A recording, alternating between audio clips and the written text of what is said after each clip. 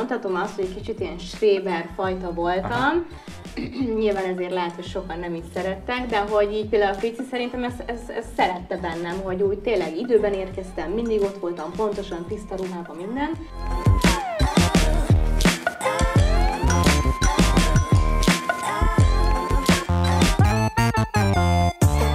Én mindenképpen ezt egy jó dolognak tartom, hogy nem először megszereztem a szakmát, és uh-huh. utána érettségiztem.